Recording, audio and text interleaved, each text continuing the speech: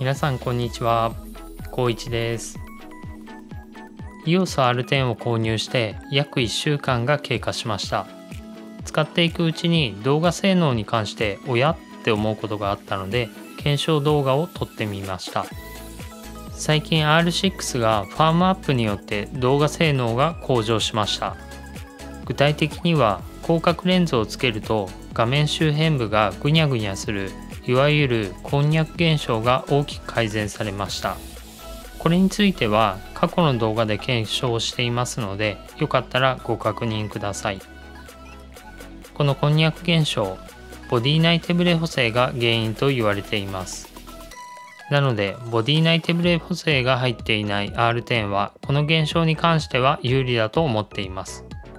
ですが R10 にはこんにゃく現象とは異なる被写体ブレおそらく歩いた時の振動がそのまま伝わっているんだと思いますが被写体が細かく振動するような被写体ブレが発生していることが使っているうちに分かりました。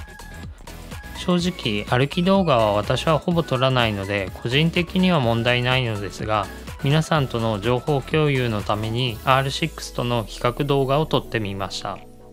R6 も同条件で撮ったのでこの2台を比較しながら R10 の実力を確認していきたいと思います。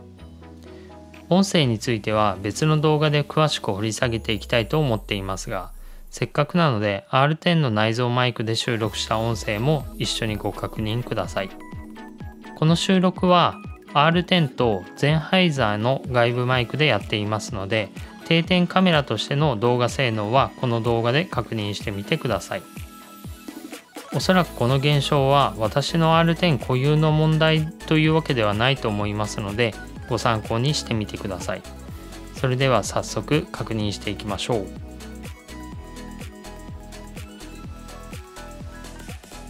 今から実際に比較動画をお見せしますが左側に映しているのが R10 で撮った映像で右側に映しているのが R6 で撮影した映像です。レンズも設定も同条件にして撮影しています。ただし R6 は R10 と画角を合わせるために動画クロップ機能を入りにしています。画角を揃えた方が単純に分かりやすいのとクロップしないと R6 だけこんにゃく現象が出てくるかなと思ったのでクロップ設定しました。R10 と R6 の映像の下にこちらの DJI Action 2で撮影した映像も流していますがどんな感じでカメラを持っているか意図的に R10 だけカメラを振っていないかを確認していただくための参考映像です。ちなみに DJI Action 2はこちらのネックストラップを使ってこんな感じで胸元に固定して撮影しました。レンズは RF16mmF2.8STM と RF2405mmF4L ISUSM を使用しました。1本目のレンズはレンズ IS が入っていませんが2本目のレンズは IS が入っています。おそらくボディ内手ブレ補正の入っていない R10 にとってはレンズ IS が入っていた方が動画が安定すると思うのでこの2本で比較しました。歩き動画はカメラにとっては厳しい撮影条件だと思いますのでその点を踏まえてご覧ください。では検証動画スタート。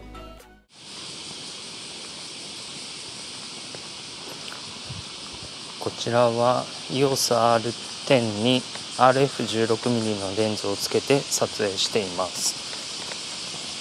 電子 IS は入りの状態にしています。音声に関してはノイズ低減を入りにしています。音声の聞こえ方いかがでしょうか？序盤から被写体が細かく振動しているのが確認できたと思います。手びれの状態はどうですかね？こんにゃくっていうのは出てないと思うんですけれども。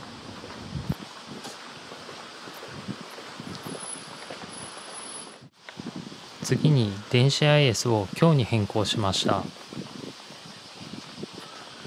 こちらは EOSR10 に RF16mm のレンズをつけて撮影しています。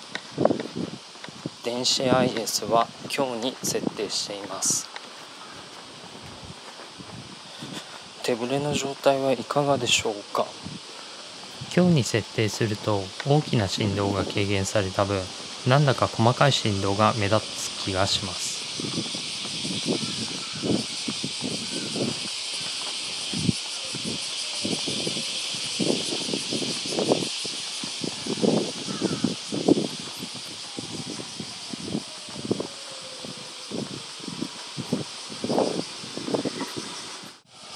レンズを交換しました。こちら EOSR10 に RF24105mm のレンズをつけて撮影しています。電子 IS は入りに設定しています。レンズは最も広角側の 24mm に設定しています。こちらのレンズはレンズ IS がついているのでこれもオンにしていますレンズに IS がつくだけでだいぶ動画が安定しますね。こちらのレンズはレンズに IS がついているので先ほどのレンズに比べると手ぶれが軽減されているんじゃないかなと思います。手ぶれの状態はいかがでしょうか？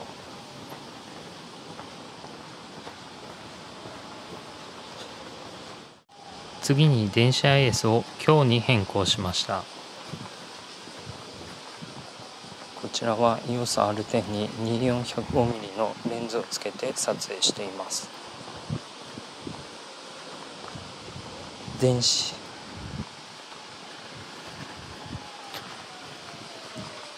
電子 IS の設定は強にしています。強にするとやっぱり細かい振動が目立ちますね。手ぶれの状態はいかがでしょうか？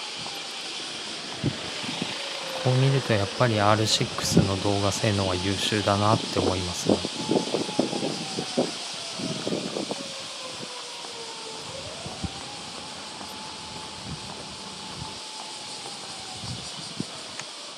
いかがだったでしょうか？歩き動画ではなくゆっくりカメラをパンしたりするぐらいならこういった振動は起こりません。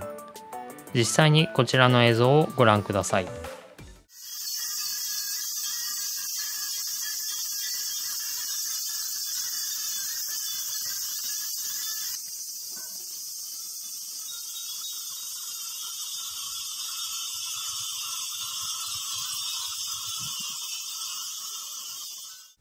カエル寺って呼ばれている場所に行った時の動画です。全て風鈴なんですが結構綺麗ですよね。あと風が吹くと風鈴の音がめっちゃすごいんです。一生分の風鈴の音を聞いた気がします。話がそれてしまいましたがまとめますと現状の R10 では IS 非搭載のレンズでは歩いた時の被写体ブレが激しく出てしまうため IS 入りのレンズを使った方が無難だと思います。最近の R6 のファームアップ内容が噛みすぎたのでなら R10 もボディ内手ブレ補正が欲しかったって今では思ってます。検証動画では撮ってませんがこの振動は電子 IS が霧の状態でも発生しました。なので電子 IS だけが悪さをしているわけではないようです。今後のファームアップで軽減できるかは分かりませんが今後に期待ですね。今回の動画が参考になったと思った方は高評価ボタンをお願いします。今後もカメラの比較動画やおすすめのカメラやガジェットの紹介もしていきますのでよかったらチャンネル登録をしていただけると嬉しいです。是非ともよろしくお願いします。ご視聴ありがとうございました。次回の動画でお会いしましょう。バイバーイ。